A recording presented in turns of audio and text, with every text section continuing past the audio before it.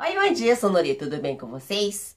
Hoje gostaria de falar sobre a casa aqui do Japão, mas antes gostaria de responder no comentário que eu recebi agora, né?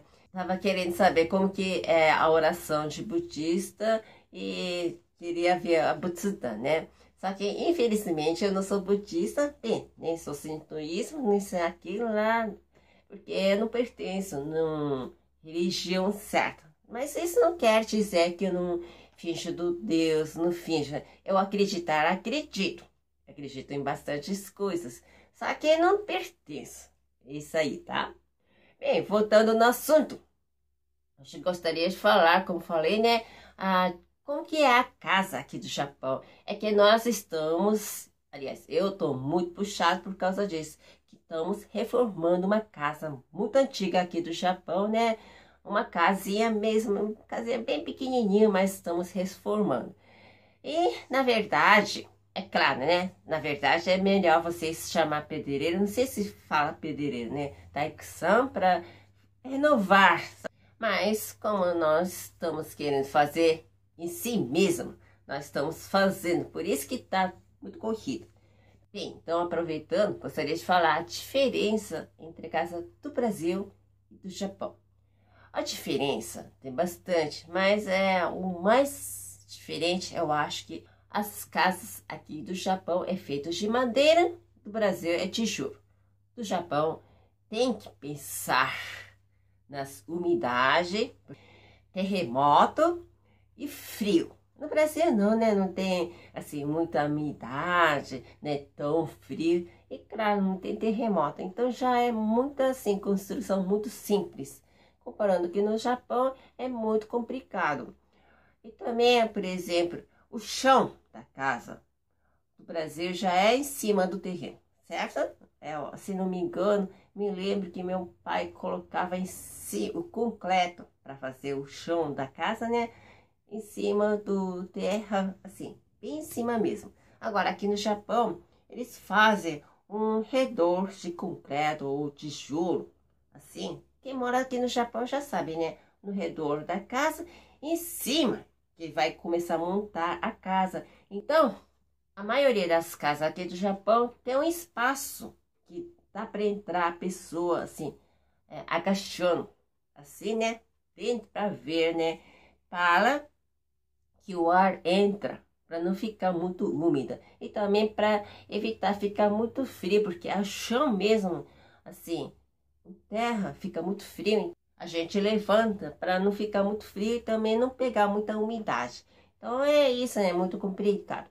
No momento nós estamos renovando a cozinha, né? Nós tiramos aquele todos, todos armário, todas as coisas que teve na cozinha, né? Desmontou e já jogamos fora. Depois em segundo, meu marido pintou a, parede de cima da, da cabeça, não sei, eu esqueci, né? No Japão fala tenjo, no, em português eu esqueci. É que eu sempre esqueço, não sai aquele palavra, aquele palavra mesmo, né?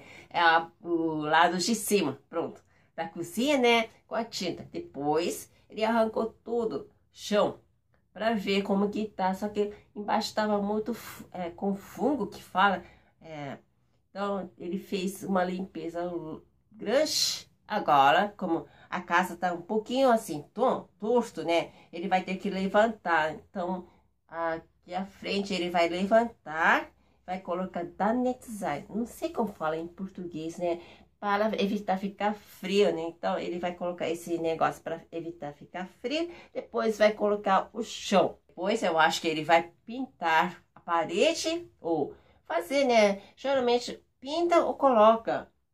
Esse não é parede, mas tem um papel assim para pôr na parede. Então, ele talvez vai pôr isso na parede.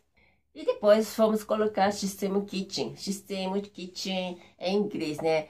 Seria em português cozinha sistemática. Não sei como fala. Não sei a palavra, certo? Nós falamos sistema kit. Vamos colocar aquele lá, o armário que tem torneira, tem o gás, tudo, né? Vamos colocar. Aí a cozinha fica pronta. Mas ainda tem que consertar o quarto, o banheiro e tem muitas coisas. Então, bem, agora Mas eu acho que daqui a dois, três meses acaba tudo. Ou seja, tem que acabar, né? Então tá muito corrido, porque ele, ele tanto eu, estamos trabalhando, né? Eu não trabalho bastante, mas às vezes, mas mesmo assim, né? Tô trabalhando e meu marido tá trabalhando direto e sábado e domingo tem que fazer isso, né? Para quem tem interesse saber como que é a casa aqui do Japão, vou deixar no vídeo o lugar para vocês entrar no vídeo do meu marido. Só que, infelizmente, está tudo em Nihongo, tá tudo em japonês, mas dá para ver, né? Dá para saber como que é mais ou menos, tá? E assim que ficar tudo prontinho, vou voltar sim fazer algumas receitas aqui do Japão para mostrar para vocês. Mas até isso, aguarde. Tomara que tudo dê certo, né? E depois puder passar para vocês antes e depois, né? Before e after. No momento, esse depois tá só no, dentro da cabeça do meu marido. Então, assim que ficar prontinho, vou mostrar, tá bom? Muito obrigada e bom dia para vocês. Tchau!